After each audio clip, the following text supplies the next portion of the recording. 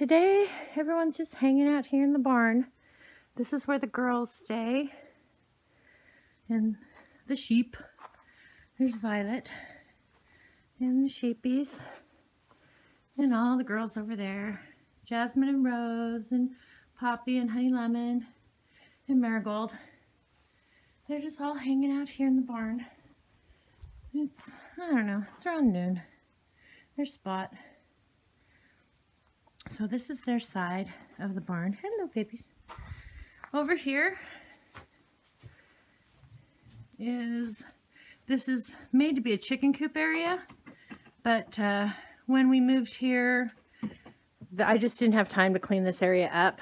So all the rest of my chickens and the ducks went over, went to Dirt Patch Heaven. Um, we took them over to her place because uh, I just didn't have time to clean it up. Because as you can see, they had a horse in here. Somebody who was here before had a horse in here. And so, uh, kind of chewed up the wall. Plus, you know, birds, mice. I've been living here, so right now we're we're keeping straw and stuff in here. Um, we're bringing home hay as we need it uh, from our local guy that we get hay from. Um, but anyway, we're working on this. All of this is going to get torn down and we'll redo all of this next spring for chickens. But right now it's just serving its purpose as uh, storage for the winter. Um, and that doorway over there goes to where the boys are. But I'm not going to go through there. We're just going to go around. This is the long barn that's at the back of the property that I showed you in that other video. So this is kind of their penned in area. We have to keep them penned at night. We've got a gate there. And of course fencing there's the milk barn.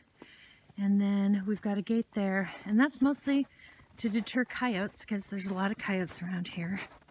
But this over here is where the boys are.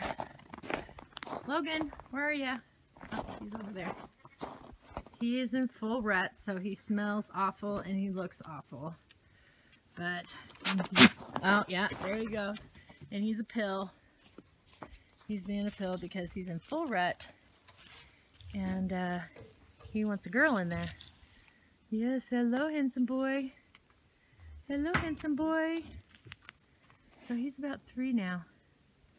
Yes, hello. Yes, hello. He's almost three. Hello, Jasmine. Hello, sweetie girl. She's mama's baby. She follows me around everywhere. And Rose, of course. These are the two babies from March. Honey Lemon's babies. And in here, are you going to come out, little man? So I can see you? Oh, let's see if I can. Ah, there we go. In there, we have Cosmo. Well, he is Honey Lemon's uh, buckling from this last March. Oh, come over here where I can see you. Come here. We have to keep him penned in there because um, Logan beats him up. Well, I might have to go around. Oh, there we go. He has got cute little curly, hello buddy. He's got curly little hair on top of his head. Isn't that adorable? He's growing his little beard. Stop it. And he's in, he's in rut too but he's much younger. He's only, what, nine months old? Something like that? Yeah, nine months old. So, uh, he's a handsome boy, though. He's gorgeous. Yeah, yeah. Those are your daughters. Stop it. So, anyway. So, this is their area where they hang out. And like I said, this is an old... Hello. Hello, Jojo. This is an old farm that... Uh, has really been run down.